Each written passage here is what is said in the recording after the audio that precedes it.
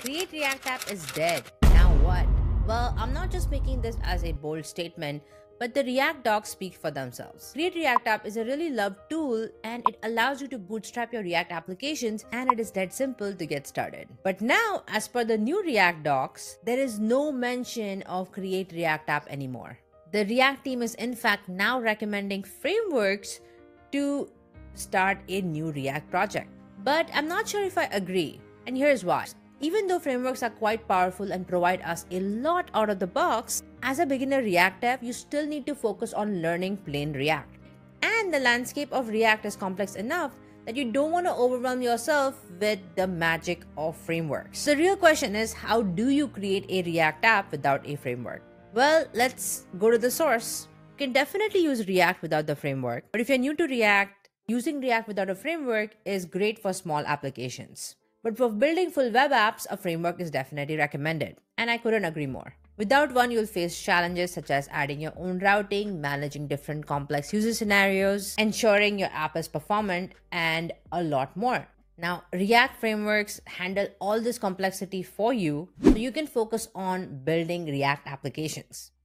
Plus, you will also save additional time and effort if you use a framework instead of bootstrapping everything from scratch. And to conclude, they say that if we are still not convinced and we still want to use React without a framework, then we cannot stop you.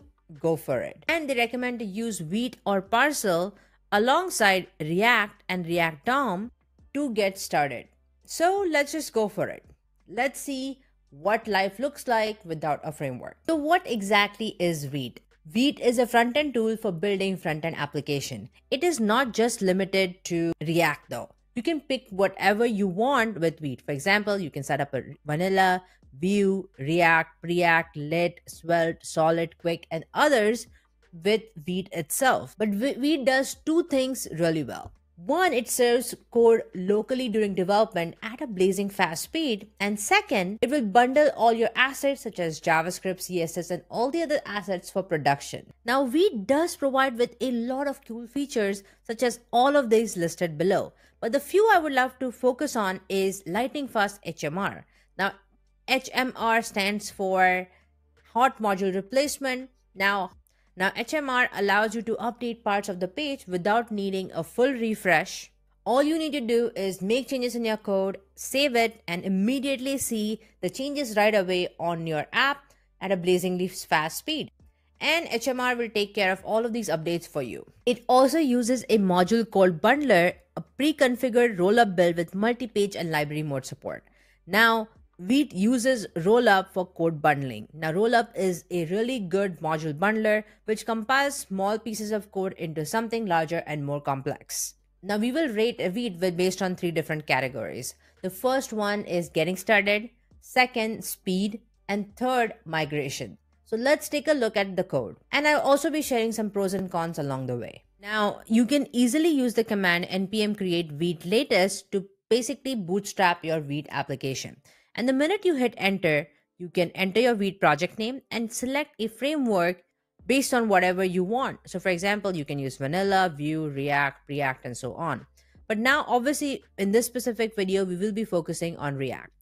Now, you could use TypeScript or JavaScript or or TypeScript with SWC, which stands for Speedy Web Compiler, which uses a Rust-based platform to compile and bundle all your files. So that's what we will be picking in this specific demo.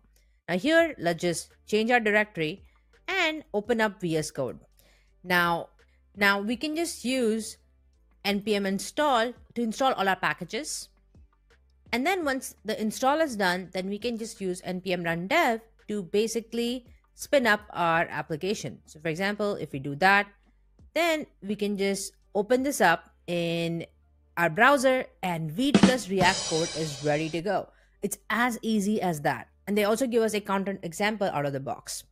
Now, if we head over to Visual Studio Code, let's say we get rid of this entire logo for both Vite and React, then you can see that the logo is gone blazingly fast, which is pretty awesome. Now, Vite also has something, a file called as Vite config that allows you to configure your application further. The Vite has Vite config that uses the plugin ecosystem and it is all powered by Rollup. Now, we have a plugin for React here, but you can add any plugins that you want and configure your Vite application. For example, these are all the different official plugins that you can use as part of Vite. And there are also some community plugins here that you can use as well based on your criteria. Now keep this in mind, this is something that you need to configure on your own versus in a framework, it's opinionated, so it's going to do all of that for you and you don't have to worry about all of these again. But if you want to do it without a framework, then this is the way to go. You need to configure the plugin as per your needs. The second one is speed. Speed is really important for Vite because Vite uses ESBuild, which is an extremely fast bundler under the hood. Vite skips type checking and uses ESBuild to compile all your code, which makes it super fast. Now, Vite uses ESBuild underneath compared to Create React App, which essentially used Webpack. Vite skips type checking and uses ESBuild to compile all your code. And as you can look, if we compare ESBuild with all the others, then ESBuild will bundle your code in 39 milliseconds compared to all the others such as Parcel, Rollup, and Webpack. So definitely Vite provides us a blazingly fast speed and is a clear choice here. Now, if you're enjoying this specific video, then now might be a good time to subscribe to my channel and like this video, just saying. Now, lastly, let's talk about migration. Let's say you want to migrate from a v, your Vite application. So you get started with plain React with Vite, and then now you're ready to use a framework of your choice. Then you can migrate from Vite to other frameworks. Now, one popular framework that I'm going to focus on is Next.js, but you could do the same pretty much in all the others as well. Now, one of the powerful things that framework provide us is server-side rendering. Now, it comes out of the box. You don't have to pre-configure anything. But with Vite specifically, if you want to configure server-side rendering, then you can follow this documentation and it is pretty comprehensive. So you need to set up your files, then add this conditional logic to switch to SSR versus client during build time, set up the dev server, and lastly, build for production. Now, I have to say that this definitely feels quite overwhelming because with if you use a framework like Next.js, then you don't have to do this anymore. It comes out of the box, so you can get started right away. But let's say you wanna you wanna have the control and you wanna pick and choose exactly everything that goes in your application versus open-ended frameworks like Next.js. Then in that case, you can use a plugin called as Vike. Now, Vike gives you routing, server-side rendering, and all of that that a framework provides us. But the advantage of Vike is that you will have full control over the server and you can use any deployment strategy as you like. And Vike is completely agnostic of React or any other library, so it has zero dependencies on React. So you can use any other UI library or framework of your choice as well. If you use Next.js, then it's harder not to use Vercel. But if you don't want to be tied to any specific platform, then you can definitely go for Vike with Vite as a viable option because you do get a lot. But remember, if you want to add routing or any of the things, then you can configure your plugin section with Vike SSR. Now, Vike was previously known as Vite Plugin SSR, but it has been renamed to Vike recently. So when you're scaffolding your latest app, you can use just Vike to install your application and then accordingly pick if you want to use React, React.js, and so on. And if you want to add client routing as well as server routing, then they have really good documentation for that as well.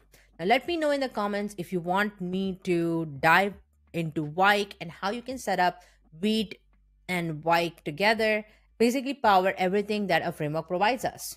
But like I said, the migration is quite simple. Take a look at the architecture and see what are the differences between what a framework provides us versus what Vike would.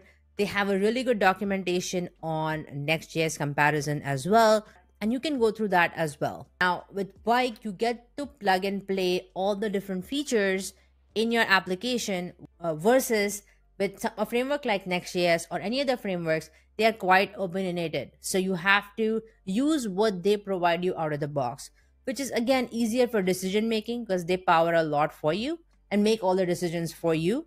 But if you want to have more control in your team and your company that you're working for, depending on your application, then you can use something like Vike. So these are some of my thoughts after using Vike and comparing that to a framework like Next.js and using Vite in general. Now, Vite definitely prioritizes on its own single page applications. You have to use plugins to basically power up things like SSR, which are very popular in modern day frameworks. After I did get used to using a framework like Next.js or Remix and others, then adding SSR and routing to my application and doing all the thinking definitely felt overwhelming. It definitely felt like a step back. Overall, Vite does encourage developers to learn React. Focus on that without having the distraction of using a framework. So I still recommend using Vite if you want to get started with React and you don't want to use a framework, or if you're in a team, then you can basically plug and play and use something like Vike to basically pick the Lego pieces you like and plug them together. But I'm quite happy that solutions like Vite exist today. Thank you so much for watching this video. I would love to know what you think about using Vite and Vike together in your React application, or if you still prefer using a framework like Next.js, Remix, and so on to make all the decisions for you. I would love to know in the comments below. Now, as next steps, if you want to become a front-end developer or aren't sure how to get started, or if you are an existing one and you want to figure out the missing gaps in your skill set, then you should check out this specific video that will teach you and give you a front-end developer roadmap for this specific year so you can know everything that you need to know to become a successful front-end developer. Else, you can watch this other video to learn more about the front-end ecosystem. So I'll see you in the next one. Thanks for watching. Bye for now.